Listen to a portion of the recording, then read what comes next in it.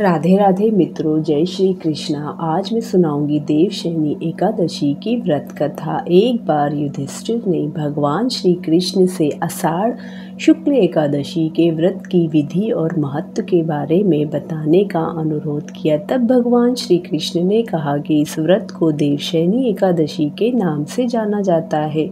यह व्रत जीवों के उद्धार के लिए बहुत महत्वपूर्ण माना जाता है। जो इस व्रत को नहीं करता, उसे नरक में स्थान मिलता है। ब्रह्मा देव ने नारद जी को इस व्रत के महत्व को बताया था और विधि को बताया था। वह तुमसे, मैं कहता हूँ, इसकी कथा कुछ इस प्रकार से है।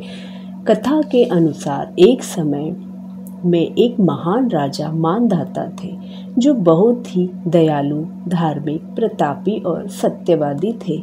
वे अपनी प्रजा की, संतान की तरह सेवा करते थे। उनके सुख और दुख का ध्यान रखते थे। उनके राज्य में सभी खुशहाल थे। एक बार ऐसा समय आया कि लगातार तीन साल तक बारिश नहीं हुई, जिसके कारण फ़सलें बर्बाद हो गई और अकाल पड़ गया। उनकी प्रजा त्राही त्राही करने लगी। एक दिन प्रजा ने राजा से गुहार लगाई कि आप इस स्थिति से बाहर आने का कोई उपाय ढूंढिए। तब राजा मानदाता भी परेशान हो गए।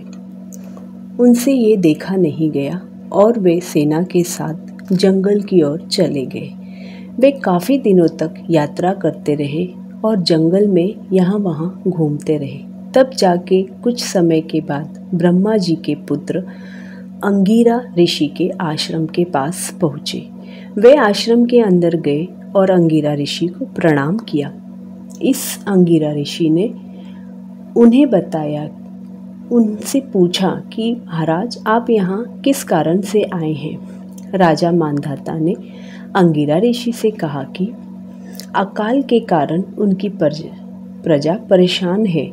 अन्न का संकट उत्पन्न हो गया है। चारों ओर हाहाकार मचा हुआ है। बारिश ना होने से यह स्थिति पैदा हो गई है। इस संकट से निपटने का कोई मार्ग बताई।